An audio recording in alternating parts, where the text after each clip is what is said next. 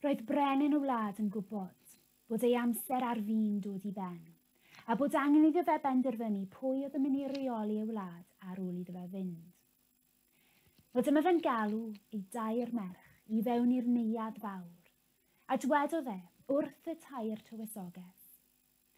Mae gen i dasg i chi. Dwi'n mynd i roi sach o air i bob un ohonoch chi Dwi am i chi fynd allan, i fewn i fy ngwlad a dod o hyd i'r peth mwyaf brydferth yn y byd. Ac ar ôl wythnos, fe edrycha i ar bopeth rydych chi wedi dod o hyd i, a fe benderfyna i pwy fydd yn rheoli'r wlad ar ôl iddi fynd. Wel, y dywysoges gyntaf hi oedd yr hynaf, ac oedd gyda hi cynllun yn barod.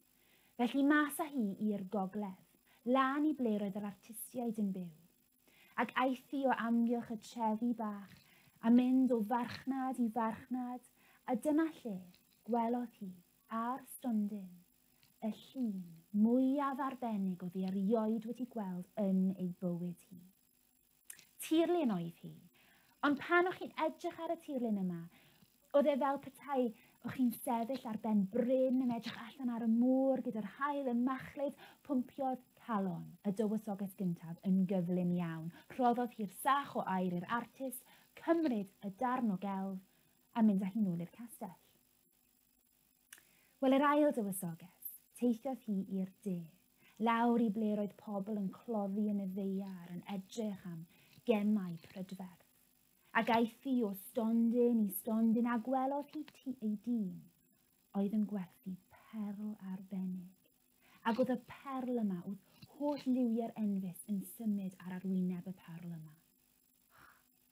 Pwmpiodd calon yr ail dywysoges yn gyflym iawn. Roddodd hi'r sach o air i'r dyn, cymerodd hi'r perl, ei lapio hi yn ei hancas boced, a mynd â hi nôl i'r castell. Nawr y trydydd tywysoges, hi oedd yr iengaf ac oedd dim clem gyda hi ble i fynd. A jyst ath hi am dro bach, yn edrych dros y lle i gyd, ac wrth iddi hi gerdded, gwelodd hi, ar ochr yr hewl, hen ddyn hen gardotyn. Ac oedd yr hen ddyn yma'n edrych yn drist iawn, oedd yn edrych fel bod angen pryd o fwyd arno fe. Ac am ystynod y dywysoges fach i fewn i'w sach o air a chymryd allan darn o air a'i rhoi i'r hen ddyn. Ac o leiodd gwyneb yr hen ddyn a ffwmpiodd calon y dywysoges yn gyflym iawn. A pharhaodd hi ar ei ffaithi, ond wrth iddi hi fynd, Daeth hi o hyd i lot fawr o bobl oedd angen help. Ac ymystynodd hi fewn i'r sach o air na dro ar ôl tro nes bod y sach yn wag. Ac ar ôl wythnos, oedd dim byd gyda hi fynd yn ôl i'r castell. Ar ôl wythnos, ymgasgodd pawb yn y neuad fawr a safodd y tair tywysoges o flaen ei thad nhw y brenin. A dywedodd y brenin, mae'r amser wedi dod. Dwi am i chi ddangos i mi y peth mwyaf brydferth yn y byd, a fe benderfyna i pwy fydd yn rheoli ar fy ôl i. Camodd y dywysoges gyntaf ymlaen a dangosodd hi'r llun arbennig yma. Oedd pawb wedi hudo mi oedd hi'n brydferth. Diolch, meddai'r brenin.